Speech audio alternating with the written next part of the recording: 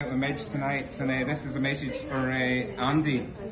You know Andy well, don't you? Uh, Andy, uh, yeah, where have you been? I was expecting you here tonight, but yeah, I'm going to have to go all the way up to bleeding Toronto. To Well, she's going to be there on Monday and Tuesday. She's she's actually had COVID pretty bad in the last few months. Uh, I know she has, she's- and, and a bit of a relapse as well. yeah, yeah, but So- she's, she's getting there. Yeah, she's. But this this message will certainly cheer her up before next week. Yeah. Andy, I'm looking forward to. You always take great photographs, so I'm looking forward to seeing what you do with that fabulous camera. That, that's why I took a few on the front row. And I told her, I says, I'll try my best, but these aren't going to be anything like as good as you take. But she gave me a blessing. But no, she was actually asking how Paul was doing because obviously Paul Young. Well, I saw, I saw him, I saw him recently. We did a festival together in, in Belgium, and um, he's grown a beard.